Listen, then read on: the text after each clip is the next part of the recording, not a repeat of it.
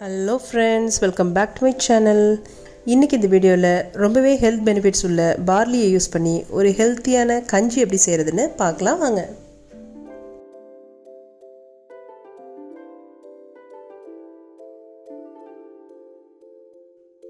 கஞ்சி செய்கிறதுக்கு இன்றைக்கி நான் அரை கப் பார்லி எடுத்து வச்சுருக்கேன். இந்த பார்லி எல்லா சூப்பர் மார்க்கெட் எல்லா கடைகளிலுமே கிடைக்கும்.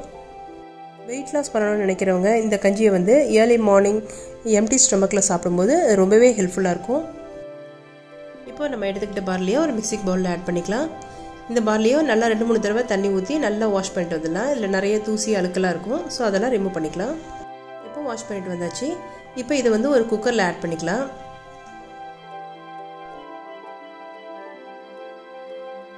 இப்போ பார்லி வேகிறதுக்கு தேவையான தண்ணி ஆட் பண்ணிக்கலாம்.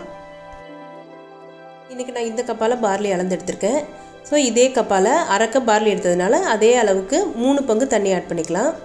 ஒரு கப் பார்லிக்கு மூணு கப் வந்து கரெக்டாக இருக்கும். ஏன்னா நம்ம தண்ணியை ஆட் பண்ணி தான் சூப் செய்ய போகிறோம் ஸோ அதனால் எக்ஸ்ட்ரா தண்ணி இருந்தால் கூட பிரச்சனை இல்லை. இப்போ குக்கரை மூடி போட்டு வச்சாச்சு. ஸ்டவ்வை மீடியம் ஃப்ளேமில் வச்சுட்டு மூணு விசில் வச்சு எடுத்துக்கலாம். பாருங்கள் குக்கரில் வந்து ஏர் ரிலீஸ் ஆகிடுச்சு மூணு விசில் வச்சு எடுத்துட்டேன். பார்லி பாருங்கள் நல்லா சாஃப்டாக வெந்து வந்திருக்கு. இப்போ இதை வச்சு நம்ம கஞ்சியை செய்கிறதுக்கு ஸ்டார்ட் பண்ணிடலாம். இப்போ நம்ம வேக வச்சு வச்சுருக்க பார்லியை தண்ணியை மட்டும் வடிச்சிட்டு அந்த பார்லியை மட்டும் எடுத்துக்கலாம். தண்ணியை கீழே ஊற்றிடாதீங்க அந்த தண்ணியில் தான் ஃபுல் அண்ட் ஃபுல் எல்லா பார்லியோட சத்து ஃபுல்லாக அதில் தான் இருக்கும். நம்ம பார்லியை அந்த தண்ணியை வச்சு தான் நம்ம சூப் செய்வோம். ஃபஸ்ட்டு இந்த பார்லியை மட்டும் ஒரு மிக்சி ஜாருக்கு மாற்றிக்கிறேன் இப்போ இந்த பார்லியை வந்து நல்லா ஃபைன் பேஸ்ட் மாதிரி அரைச்சிட்டு வரணும். அதுக்கு முன்னாடி இது வந்து நல்லா சூடாக இருக்குது ஒரு ரெண்டு நிமிஷத்துக்கு ஆறட்டும். இதில் கொஞ்சமாக தண்ணி ஆட் பண்ணிக்கலாம். தண்ணி ஆட் பண்ணிவிட்டு நல்ல ஃபைன் பேஸ்ட்டாக அரைச்சிட்டு வந்துடலாம். அரைச்சிட்டு வந்தாச்சு. இப்போ இது ஒரு பக்கம் இருக்கட்டும். இப்போது ஸ்டவ் ஆன் பண்ணி ஒரு கடாய் வச்சுக்கலாம். கடாயில் ஒரு டேபிள் ஸ்பூன் ஆயில் ஆட் பண்ணிக்கலாம். இதில் ஒரு ரெண்டு மூணு பூண்டு பல்ல சின்ன சின்னதாக கட் பண்ணி வச்சுருக்கேன். இஞ்சி ஒரு சின்ன துண்டை நசுக்கி வச்சுருக்கேன். இதை ஆட் பண்ணிக்கலாம். இது நல்லா ஃப்ரை பண்ணி எடுத்துக்கலாம்.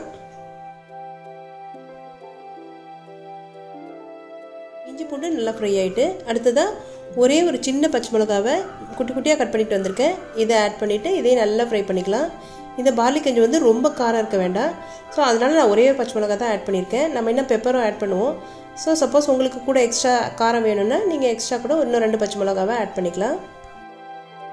பச்சை மிளகா நல்லா ஃப்ரை ஆகிட்டு அடுத்தது ஒரு பத்து புதினா இலை போல் எடுத்திருக்கேன். இதை நல்லா ஃப்ரை பண்ணி எடுத்துக்கலாம். நம்ம புதினா ஆட் பண்ணுறதுனால இந்த பார்லி கஞ்சியில் புதினாவோட ஃப்ளேவர் ரொம்பவே நல்லாயிருக்கும் புதினா நல்லா ஃப்ரை ஆகிட்டு பாருங்கள் புதினாவோட ஃப்ளேவர் வந்து ரொம்பவே நல்லா வருது. அடுத்ததாக ஒரு மீடியம் சைஸ் பெரிய வெங்காயத்தை சின்ன சின்னதாக கட் பண்ணி வச்சுருக்கேன். இதையும் ஆட் பண்ணிக்கிறேன். வெங்காயத்தை இந்த எண்ணெயிலேயே நல்லா ஃப்ரை பண்ணி எடுத்துக்கலாம். வெங்காயத்தோட கலர் சேஞ்ச் ஆகிற வரைக்கும் ப்ரௌன் ஆகிற வரைக்கும் நல்லா ஃப்ரை பண்ணி எடுத்துக்கலாம். அடுத்ததாக ஒரே ஒரு கேரட்டை சின்ன சின்னதாக கட் பண்ணி வச்சுருக்கேன். இதை ஆட் பண்ணிக்கலாம். நெக்ஸ்ட்டு ஒரு கேப்சிகமை ஒரு சின்ன துண்டு மட்டும் கட் பண்ணி அதை குட்டி குட்டியாக கட் பண்ணி வச்சுருக்கேன். இதையும் ஆட் பண்ணிக்கலாம். ஒரு ரெண்டே ரெண்டு பீன்ஸை சின்ன சின்னதாக கட் பண்ணி வச்சுருக்கேன். இப்போ பீன்ஸையும் ஆட் பண்ணிக்கிறேன். இப்போ இந்த காய்கறிக்கு தேவையான உப்பு ஆட் பண்ணிக்கலாம். இது எல்லாத்தையுமே இப்போ நல்லா ஃப்ரை பண்ணி எடுத்துக்கலாம். இந்த எண்ணெயிலே இந்த காய்கறியை நல்லா ஃப்ரை பண்ணி எடுத்துக்கலாம். இப்படி பண்ணும்போது காய்கறி வந்து இதிலே ஒரு டுவெண்ட்டி பர்சன்டேஜ் நல்லா வெந்துடும்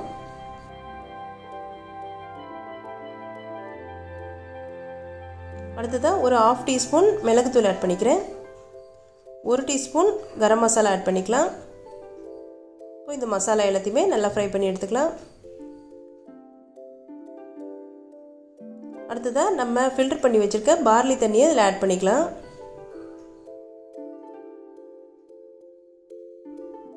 ஒரு தடவை நல்லா மிக்ஸ் பண்ணி எடுத்துக்கிறேன். இந்த தண்ணியிலையே நம்ம மிக்சியில் அரைச்சி வச்சுருக்க பார்லியே ஆட் பண்ணிக்கலாம். ஆட் பண்ணிவிட்டு நல்லா இதையும் ஒரு தடவை மிக்ஸ் பண்ணி எடுத்துக்கலாம். இந்த பார்லி கஞ்சி சுகர் பேஷண்ட்டுக்கு ரொம்பவே ஹெல்ப்ஃபுல்லாக இருக்கும். அவங்களோட சுகர் லெவலை கண்ட்ரோலில் வச்சுக்கிறதுக்கு ரொம்பவே யூஸ்ஃபுல்லாக இருக்கும். இந்த கஞ்சியை வந்து அடிக்கடி அவங்க சாப்பாட்டில் சேர்த்துக்கலாம். அதே மாதிரி ஹை பிளட் ப்ரெஷர் உள்ளவங்களும் அவங்களோட ப்ரெஷரை கண்ட்ரோலில் வச்சுக்கிறதுக்கு இந்த பார்லி கஞ்சி ரொம்ப யூஸ்ஃபுல்லாக இருக்கும். மிக்சியில் நம்ம பார்லி அரைச்சோம்ல அதில் ஒரு அரை டம்ளர் தண்ணி ஆட் பண்ணி அந்த தண்ணியை இதில் மிக்ஸ் பண்ணிக்கிறேன். இப்போது காய்கறி வேக வைக்கிறதுக்காக நம்ம மூடி போட்டு மூடிடலாம். ஸ்டவ் வந்து ஹை ஃப்ளேமில் இருக்கட்டும். நம்ம ஆட் பண்ண தண்ணி வந்து கொதி வரட்டும். இப்போ பாருங்கள் தண்ணி நல்லா கொதி வந்துட்டு இப்போ ஸ்டவ்வை வந்து மீடியம் ஃப்ளேமில் வச்சுட்டு ஒரு ரெண்டு நிமிஷத்துக்கு மூடி போட்டு வைக்கலாம். இப்படி செய்யும்போது நம்ம ஆட் பண்ண காய்கறிகள் எல்லாமே நல்லா சாஃப்டாக வெந்து வந்துடும் இப்போ டூ மினிட்ஸ் ஆயிடுச்சு ஓப்பன் பண்ணி பார்க்கலாம். அவ்வளோதான் பாருங்கள் காய்கறிகள் நல்லா வெந்து வந்திருக்கு. நம்மளுடைய பார்லி கஞ்சி ரொம்ப சூப்பராக ரெடி ஆகிட்டு இது நிறைய ஹெல்த் பெனிஃபிட் உள்ளது. இதை வந்து அடிக்கடி நம்ம சாப்பாடில் சேர்த்துக்கலாம். இதை நார்மலாக வேக வச்சு தண்ணியை குடிங்க அப்படின்னு சொல்லுவாங்க. அந்த மாதிரி குடிக்கிறத விட இந்த மாதிரி சூப் மாதிரி செஞ்சு குடிக்கும்பொழுது ரொம்பவே இன்ட்ரெஸ்டிங்காக இருக்கும். கடைசியாக நம்ம கட் பண்ணி வச்சுருக்க கொத்தமல்லியை ஆட் பண்ணிக்கலாம். இப்போது இதை வந்து ஒரு பவுலுக்கு மாற்றிக்கலாம் அவ்வளோதாங்க நம்மளுடைய பார்லி கஞ்சி ரொம்ப சூப்பராக ரெடி ஆகிட்டு இதே மாதிரி நீங்கள் உங்கள் வீட்டில் ட்ரை பண்ணி பாருங்கள் ட்ரை பண்ணி பார்த்துட்டு எப்படி இருந்ததுன்னு மறக்காமல் கமெண்ட் பண்ணுங்கள் இந்த வீடியோ உங்களுக்கு பிடிச்சிருந்தா மொபைல்ஸ் கிச்சன் சேனலை மறக்காமல் சப்ஸ்கிரைப் பண்ணுங்கள் தேங்க்யூ ஸோ மச் ஃபார் வாட்சிங்